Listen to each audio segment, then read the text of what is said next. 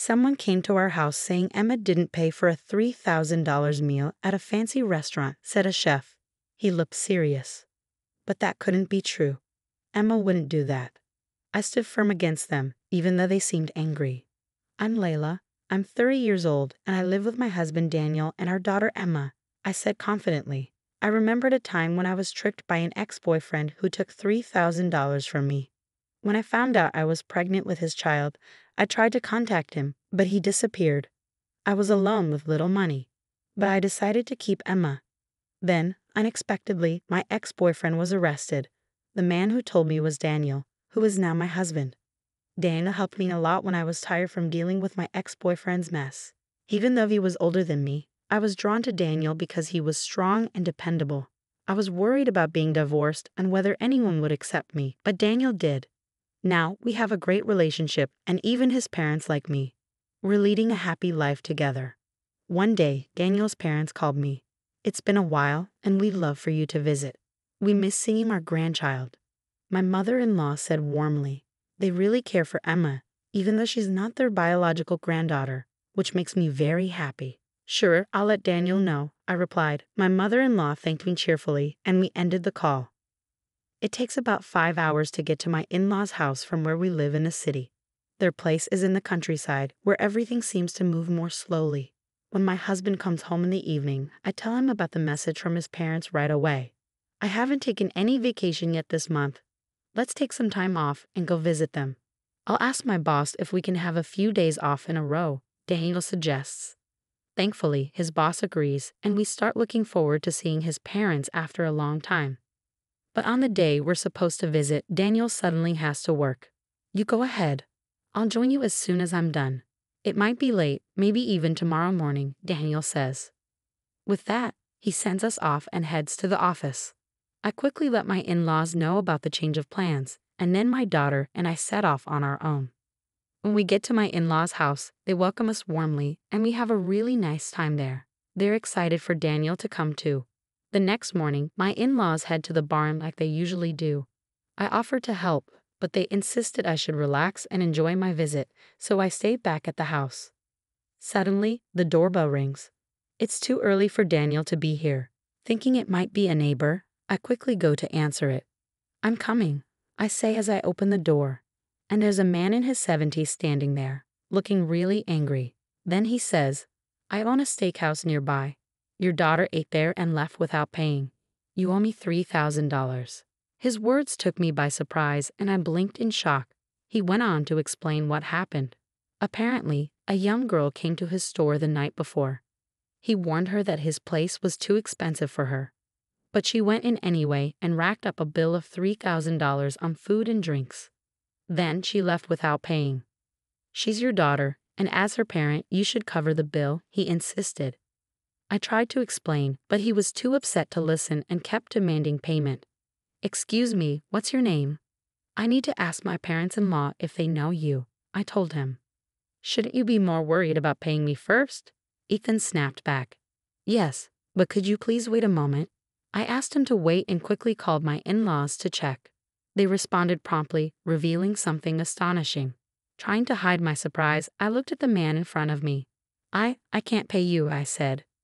What are you saying? You don't care if my business suffers. If you don't pay, I'll call the police. Ethan exclaimed. But hold on. I believe there's a misunderstanding, I pleaded. There's no room for misunderstanding. I made sure to ask for her name when she ate, Ethan said firmly, reaching for his phone to call the police. A policeman happened to walk by, and the steakhouse owner called him over to explain the situation. The officer frowned and looked at me sternly, saying, Can I talk to you for a moment? I felt confused and unsure how to handle the officer's intimidating stare. Your daughter is suspected of dining and dashing. If things remain unresolved, we'll have to arrest her, he said, insisting that I hand over my daughter immediately. No, there's been a mistake. My daughter wouldn't do that. I protested, but the officer remained firm. The steakhouse owner then said, If you insist, I'll make a concession. I'm not heartless. Since we're neighbors, if you can pay, I'll let it go. Ethan, are you sure about this? I questioned. Oh, it's no big deal to me. She's just a young girl. I knew she couldn't afford it from the start, but she still wanted to try my food. Isn't that flattering? Ethan chuckled. The police officer's expression softened, and he gave me a suggestion. Ethan is offering you a way out. Why not pay the $3,000 for the food and drinks? He hasn't officially reported it yet, so you won't face charges. I declined anyway. As I started to explain, the steakhouse owner's face turned red with anger, and he shouted, You're rejecting my kindness. Is this how you raise your daughter? Don't play games with me. Please calm down. Why are you refusing to pay? If you don't, your daughter could really end up getting arrested. The police officer asked me, looking puzzled. I can't just agree to this, I replied, feeling uneasy. As I spoke, the steakhouse owner laughed. Apologies? Oh, I see. You're saying you don't have $3,000 with you right now? My mistake. As we get older, we tend to forget things. While we do take credit cards at our restaurant, if you trust me with your card, I can handle the payment and give it back to you later. How about that? He said, suggesting I get my wallet. I refused, explaining that it was too risky to give my credit card to someone else. I offered to go with him to make the payment instead. However, the steakhouse owner threatened me, raising his fist and shouting, Don't you trust me? I work with credit every day. Watch what you say, or you'll regret it. Why can't I come along? I questioned, but the steakhouse owner erupted in anger once more. Because you're disrespecting me. Let me make this clear. I have connections with influential organizations in this area. If you can't pay up, I can still ensure you pay $3,000 through my connections. That's why I've involved a police officer to handle this properly. He continued his tirade, leaving me stunned. I wondered if it was appropriate for him to say such things with a police officer present. Glancing at the officer, I saw him pretending not to listen, avoiding eye contact. Excuse me, you're a police officer, right? Did you hear that? This sounds like a threat, doesn't it? Is this acceptable? When I turned to the police officer for help, he seemed troubled and avoided my gaze. I didn't hear anything. Look, if you pay the money, this can all be resolved, Layla. Please comply. I couldn't believe what I was hearing from a police officer. Stunned, I listened as the steakhouse owner resumed his threats with harsh words. Most people would feel hopeless facing such pressure and might just pay up to end it. But I couldn't give in. Aren't police officers supposed to protect citizens? Why are you taking their side? I pleaded desperately, but the officer remained silent, refusing to engage. The police officer is saying the same thing. So what will you do? Decide. Are you still refusing to pay? Don't underestimate me just because I'm old, the steakhouse owner warned, glaring at me. It's not that I'm underestimating them, it's just hard to believe. That's why I'm standing my ground. But they won't even let me explain I thought to myself, feeling frustrated. While pondering my next move, a taxi pulled up in front of our house. My husband stepped out, looking puzzled. What's going on? Who are these people? He asked, confused. Is this your husband? You need to take responsibility. Let me explain, the police officer said, briefing my husband Daniel. Daniel looked at me, surprised. As I frowned in confusion, Daniel seemed to grasp the situation and gave me a playful smile. I've always loved his playful side. Sorry for the confusion. My apologies. By the way, officer, which department are you from? Do you have a badge? Taken aback by my husband's sudden assertiveness, the police officer hesitated before pulling out his badge from his pocket. Hmm, this looks fake. What's going on here? The police officer started to sweat nervously. Daniel chuckled and said, just joking. Hearing my husband's words, the officer awkwardly forced a smile. Then Daniel asked him about his department and rank. Do you really need to know that? Just curious. Can you tell me? Daniel replied. I'm a constable stationed at the police box. I haven't seen you around. Are you new here? Thanks for your service, Daniel said appreciatively. Yes, I'm new here. Would it be all right if I contacted your station?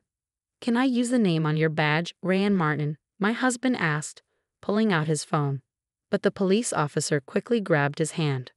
Before that, let's talk about the issue with Ethan. Can you tell me if you can pay or not? The officer pressed my husband for an answer. Aiken seemed completely thrown off by my husband's confidence, and his earlier intensity had faded. You're responsible as the husband, right? he asked. Yes, but I don't have a job that pays that much, my husband replied casually. Oh well, Daniel shrugged. One last thing, can you provide me with your gun's serial number? What? Why do you need that? It's not something I can just give out, my husband replied. Well, that can't be. Knowing the number is a common verification method. It's important, Daniel said with a serious expression, while the police officer looked puzzled and asked, Is that true? Observing their reactions, my suspicion turned into certainty. They were definitely working together. Anyway, can I share my thoughts on this dine and dash incident? My husband asked, giving them a stern look. They seemed confused by his unexpected question. In conclusion, you're not a real cop trying to scam us with that guy over there, right? My husband accused, leaving them both stunned. Do you have any proof? The police officer demanded. Yeah, show me the evidence that I'm lying, my husband challenged.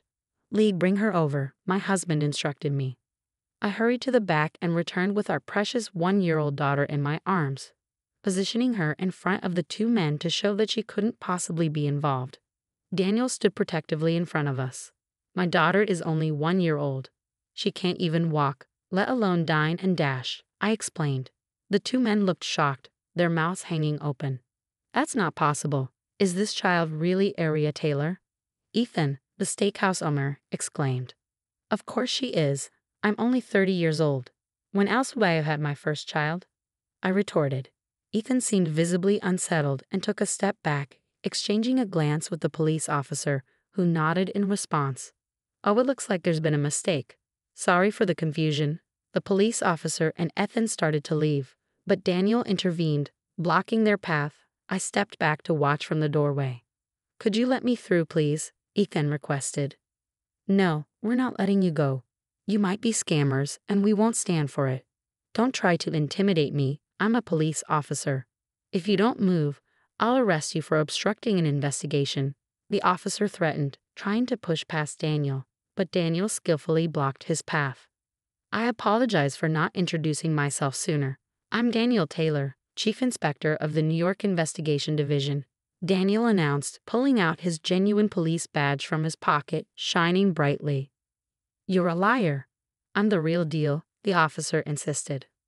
Whether you're real or not doesn't matter. You've committed fraud, haven't you? It's disgraceful for a police officer. Do you understand what the investigation division does? Daniel questioned sternly. What? You don't know what the investigation division is? Daniel asked incredulously. The investigation division handles serious crimes like fraud, embezzlement, counterfeit money, election violations, financial crimes, defamation, and high tech crimes. In other words, it deals with criminals like you, Daniel explained firmly. He swiftly took out handcuffs and began to arrest the two.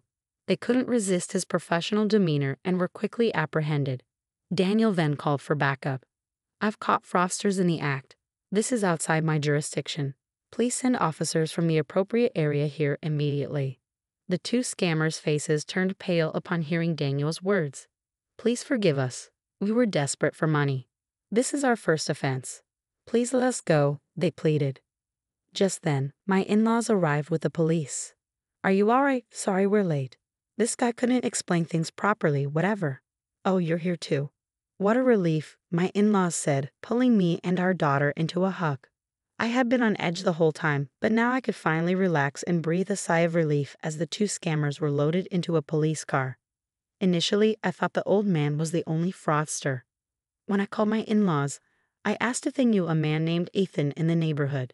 They didn't recognize the name, and since they've lived here for a long time and know everyone around, it was clear that Ethan didn't exist here. More importantly, my daughter is only one year old. She couldn't possibly have dined and dashed. Although I hadn't directly asked my in laws to call the police, they understood my situation and decided to bring the police. When I realized I had to keep the man here until then, I was quite tense, but I made up my mind to protect my daughter. I had a feeling that something was off about the police officer who showed up. After talking to him for a while, I couldn't shake my distrust and couldn't forgive him. Though I didn't have proof at first, Daniel's questioning made me certain he was a fake officer. I felt lucky Daniel was there to handle things, but the thought of what could have happened if he wasn't made me break out in a cold sweat. I'm relieved it ended safely. With Daniel and the local officer's help, the case involving the Frosters was closed. During the investigation, many charges were lined up against them. Daniel shared the story with me afterward, looking both sad and angry. It turned out the Frosters weren't part of any organization. Their faces became known nationwide thanks to the news. I stayed at my in law's home for an extra day, thanks to their kindness and Daniel's consideration.